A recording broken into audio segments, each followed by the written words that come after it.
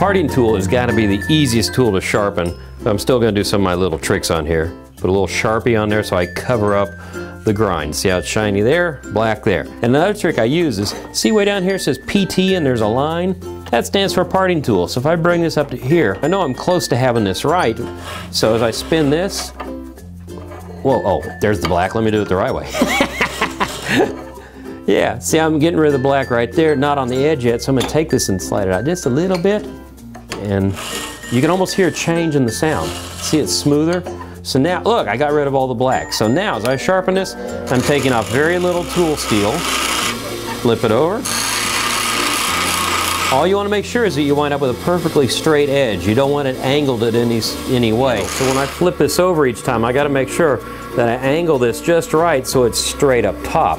So don't just go by the handle shape. Make sure the tool itself is straight when you do this.